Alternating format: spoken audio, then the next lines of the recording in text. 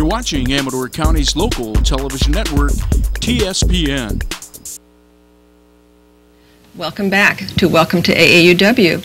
Uh, Before the break, we were talking about AAUW uh, Amador, our local branch, and Suzanne was talking about the scholarship and Tech Trek programs. And you want to continue with that, Suzanne? Yeah, I had been talking about um, our Tech Trek scholarships, which, as we mentioned, go to seventh graders. And this year we were able to fund three seventh graders for that camp, so we're really excited about that. Um, we also award scholarships for uh, young women uh, in our county who are going to be attending community college. And this year, uh, we were able to fund three scholarships for community college attendance at $1,000 apiece. Um, Those scholarships are based on financial need, academic achievement, uh, community involvement, involvement in school activities.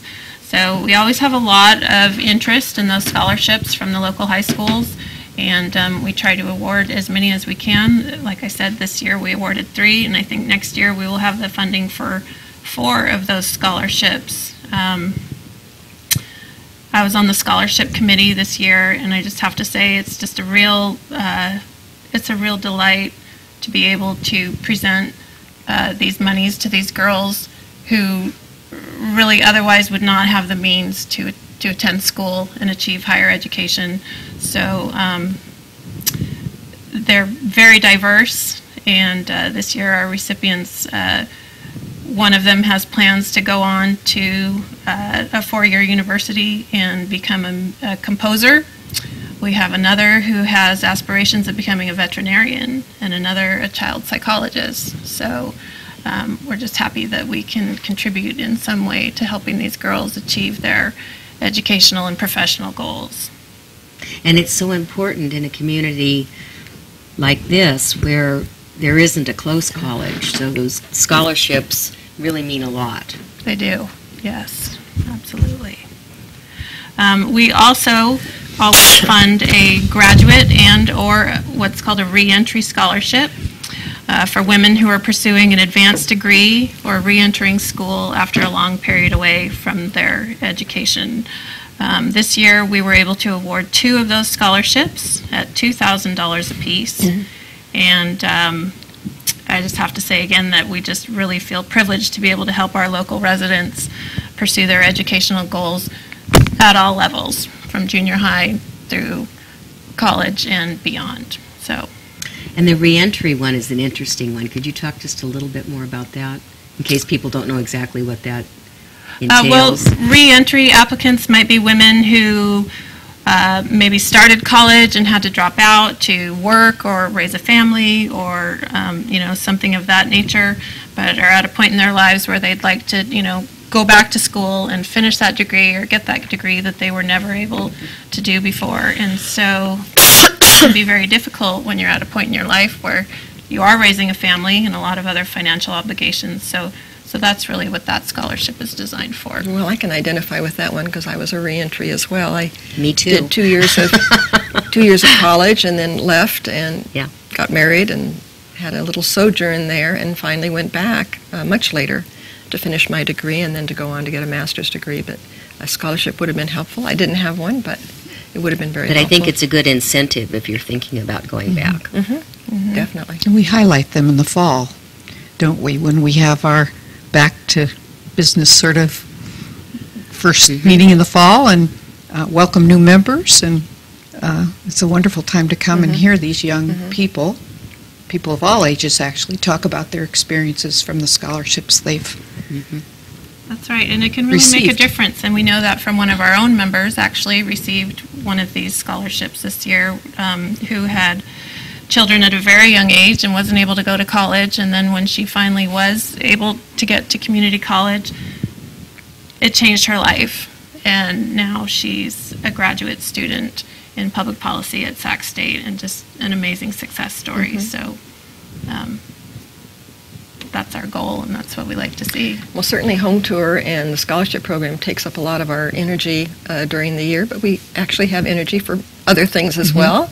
And one of our um, key things is our monthly programs. And uh, we've had some extremely interesting programs. Maybe we could talk about those. Sure. Um, this is one of the things that we do as a branch, as part of our mission to help get education out there to all types of different people in all parts of the community. So throughout the year, um, our branch presents educational programs to the community, and these are always free, and they're always open to the public. So um, anyone can can come and, and, you know if they're they have an interest in what we're talking about that particular month. Uh, and I'm going to give you some examples of what we did this year just to show you the variety of things. Um, in October, we had a public uh, forum presentation by John Plassey on the Amador Community College. And uh, that was the, the foundation that's now trying to establish a community college here in Amador County and other educational opportunities here in the county. And there are some wonderful new opportunities for students here at this time because of this foundation and what they're doing. Um, in November, uh, we had a really interesting uh, program on the uh, tragedy of human trafficking. And we had a speaker, Erica Gonzalez, uh, Immigration Legal Services Program Manager for Opening Doors in Sacramento, which is a nonprofit. And we learned that human trafficking uh, takes place, you know, we think of it as a third world country problem and that sort of thing, but it takes place in our country and in our region. So that's what this really brought out was how, you know, how this is really close to home. And this Opening Doors was interesting because it's a, a program that um, provides a system, assistance to people that have been caught up in human trafficking and uh, to, you know, help these survivors become self-sufficient and, you know, to move on to a better future. I was surprised, I attended that program, and I was surprised to learn that Sacramento is a major hub Yes. for human trafficking. I had absolutely no idea that Major was the case. I mean, yes, that's very scary to Yeah. think that that's that close to home. And anything that's that close to home is also spreading out. Right. It doesn't just stay in that neighborhood. Um, in January, we changed um, a little bit and something not so serious, and we had an evening with uh, Carolyn uh, Tragula. Fregulia. Oh, Fregulia, okay, author and historian of the Gold Country.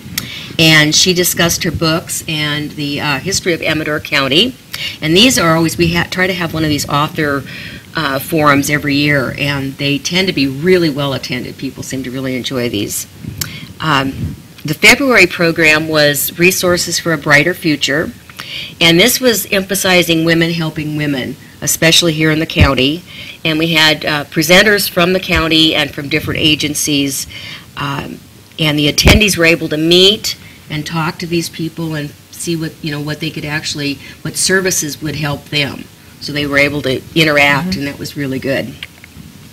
Um, in March, this is a, Oh, Can I, I want to oh, back sure. up, because I think our president just informed us that uh, that particular program received a special award from the California branch. Oh, really? Yeah, Outs- for outstanding outstanding program. program for California Oh, for my this year. gosh, So well, Nice good for us.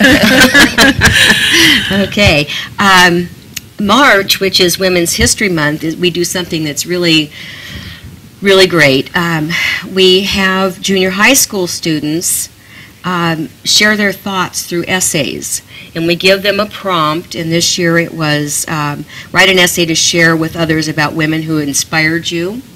And we actually give out cash awards to two first place, two second place, and two third place students. And um, the public is invited to listen to these uh, young students share their essays. And uh, so it's really an exciting evening for everyone the, the students and their parents and their friends and everyone else that attends, and of course, all of our membership that's there. And, and then in April, we co-sponsored um, with the Amador Partnership a candidates forum for the Board of Supervisors, District 3 and 5. So as you can see, we're kept pretty busy during the year with programs, but it's in order to help educate the community about a lot of these issues. Now, if all of this makes us sound really serious, it does make us sound kind of serious. You need to know that AAUW also has a lot of social and fun events throughout the year. So, Lani, would you like to talk about some of Well, we have eight special interest groups. The list of spe- special interest groups are highlighted and their details appear in our gold filing newsletter each month. And so, um, depending on which ones you belong to, you can find out the details. Uh, One of the, or two of the uh, special interest groups are book groups, an afternoon book club that meets once a month in homes, and the list of books is a mixture of fiction and nonfiction, and the group decides on what it is that they uh, wish to read about. Then there's an art and action group, and this group meets actually twice a month. They enjoy drawing and painting, and at each other's homes at a ver- at a variety and at a variety of outdoor uh, venues. They share information about art workshops and galleries and exhibits that they like to go to, and lunch is always part of the day. Uh, the book lovers and page tuners, turners are the other book group, and it also meets once a month in members' homes. They discuss the book's themes and characters and how it relates to their own lives and worlds. And then Bonnie, who is Oh, we also have a wonderful, Cork we call. Cork and Fork, which is That's a wine tasting group, which is very enjoyable. And we do taste a variety of different wines from all around the world and usually have a theme, and we meet every other month, and it's quite enjoyable. Mm-hmm. And sometimes, besides people's homes, we go to wineries and taste, taste wine. So let's go uh, take a break just for a moment, and we'll come back and continue talking about all the wonderful activities and interest groups we have in AAUW Amador. You're watching Amador County's local television network, TSPN.